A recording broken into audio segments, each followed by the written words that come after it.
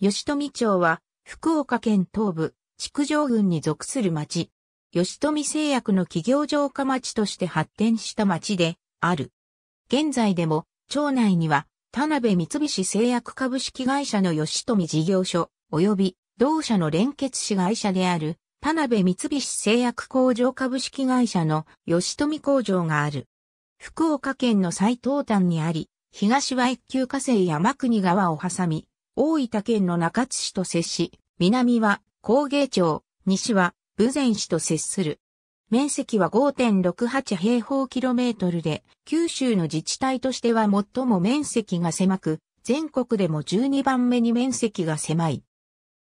東西 2km 南北 3km ほどしかなく、市街地は吉富駅周辺に密集しており、人口密度は比較的高い。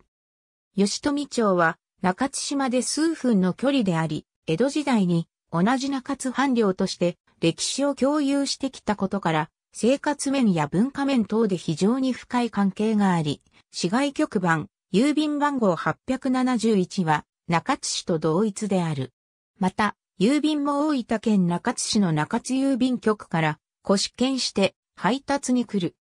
経済的に中津都市圏に属し、2005年の国勢調査では、全通勤通学者のうち約30%が中津市に通勤、通学している。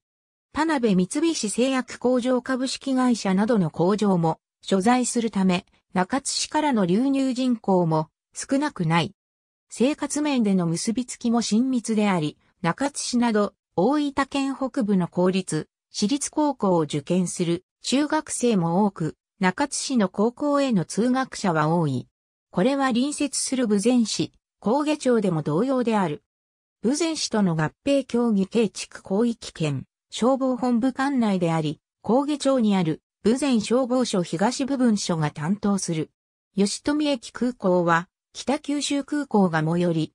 以前は西鉄バスグループが東町と武前市、行橋市、中津市の間を結ぶ路線や、中津市と新吉富村、太平村を結ぶ路線を運行していたが、2004年4月1日に廃止された。代替として同日より上記のコミュニティバス、乗り合いタクシーを運行している。一般国道は通っていない。は個人。ありがとうございます。